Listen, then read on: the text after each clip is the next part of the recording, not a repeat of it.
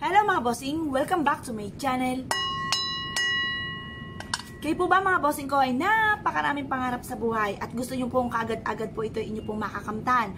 Alam nyo po ba mga bossing ko na napakarami po nating iba't ibang mga pamamaraan para makamtan po natin ang mga pangarap po natin. At uh, basta't kailangan lamang ay may lubos kang paniniwala at may positibo kang pananaw sa buhay. Ako'y naniniwala kung sino man ang taong may pangarap or maraming pangarap sa buhay, basta't inyong ginusto at kayo'y nagpursigido na makamit po ito, walang, walang imposible mga bossing. Basta't sasabayan nyo po ito ng pananalig sa malapang Panginoon. Tapos, uh, sasabayan po natin ng sipag at tiyaga. At syempre, tatambalan pa po natin ng mga pampaswerte para mabilis nating ma-achieve kung ano man po yung mga pangarap po natin. Kaya kung kayo po ay isa sa mga naniniwala sa mga pampaswerte, ang video ito ay para po sa inyo.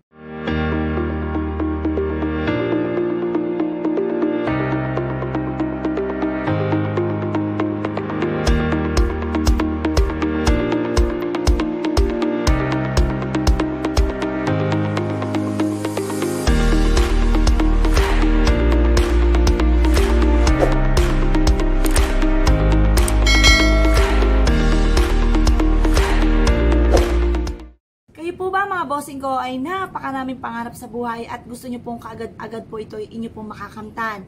Ganito lamang po inyo pong gagawin mga bossing ko. Kumuha po kayo ng isang papel. Ayan, isang papel na malinis. Kahit nga po yung uh, notebook ng inyong anak, yung mga tira-tira po dyan, yan po yung ginagamit ko rin. Nung isang taon, yan po mga ginamit ko, kaya lang po yung naubos na. Kaya ako po yung bumibili na ng yellow pad.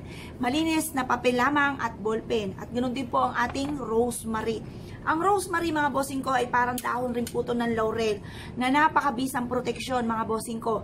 Ito po ay about for love, happiness, success, prosperity, wealth, abundance, at kung ano man po ang mga gusto po ninyong maganap po sa inyong pong pamumuhay, maging healing. Kung halimbawa may mga karamdaman sa miyembro ng pamilya or kayo po mismo ay lagi na lang may karamdaman, subukan nyo po itong gawin. Ngayon pa mga bossing, isulat nyo po ito sa isang malinis papel ang lahat-lahat ng mga pangarap po ninyo or kung ano man yung mga pagsubok na pinagdadaanan nyo sa ngayon na mabilis ninyong masolusyonan or kaya po yung mga matagal nyo ng mga pinapangarap na hanggang pangarap pangalaang ay eh, gagawin po nating makatotohanan. Ngayon po mga bossing, isulat nyo po yung date kung kailan nyo to gagawin.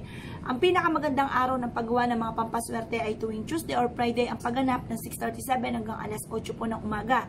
Ngayon po, kung kayo ay abala sa mga ganyang araw at hindi ka rin naman makapagdasal ng time team na mula sa inyo inyo pong puso ay naku mga bossing, maaaring hindi rin po ito kagad-agad tatalab. Kaya mas mainam mga bossing ay isulat niyo na lang po lahat-lahat ang nais po ninyo. Pagkatapos, um, kailangan yung tipo na na alam mo sa inyong kalooban, alam nyo sa inyong sarili na walang gagambala sa inyong pagdadasal. Ganun po inyo pong gawin. Kaya magpaalam ka na sa inyong pong anak, sa inyong mister na huwag ka munang tatawagin ng ilang minuto at mananalangin ka ng taimtim. Ayan, ganyan po lagi kong ginagawa eh para alam ko na walang tatawag sa akin. Ngayon, pag may tumawag sa akin, ako iyamot na iyamot kasi nagpaalam na nga po ako. Tapos may tumawag pa rin. Kasi gusto ko talaga kapag ako yung nagdasal, time team talaga na walang iistorbo sa akin, walang tatawag. Ganun din po inyo pong gawin mga bossy. Isulat niyo po yung date ngayon. Ano ba pong date ngayon? October 12, 2020. Tapos, pangalan po ninyo at ipilido, Apple Pagyo. Pagkatapos, sulat niyo po dito yung intention niyo, ba't niyo to ginagawa? Magkaroon ng maraming pera, magkaroon ng magandang bahay, magkaroon ng magarang sasakyan, lahat ng pangarap niyo ay matupad. Magtagumpay kayo sa inyong negosyo.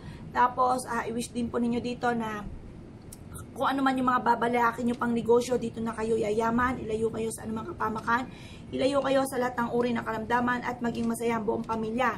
Pagtapos, i-wish nyo rin po yung nagaganap sa kasalukuyan. Tapos, pangalan po ninyo, ipilido at signature na may pataas. Pataas para tagumpay po tayo. Ngayon pa mga bossing, lagyan nyo lang ito ng konting asin at pagkatapos ay uh, tupiin nyo po siya. Ngayon pa mga bossing, ilagay nyo po ito sa malinis na lalagyanan. Pagtapos, lagyan nyo po ito ng rosemary sa ibabaw. Yan, para mabilis mag-grant ang inyo po mga hinihiling. Magkaroon kayo ng mabisang proteksyon, malayo sa anumang kapamakan. Lahat ng mga pangarap ay matupad sa pamamagitan po nitong ating gagawin pampaswerte. Yan. At pagkatapos ito mga bossing, ay ilagay nyo po ito sa may main door po ninyo. Yan. Ito po ay panawagan sa mga pangarap natin.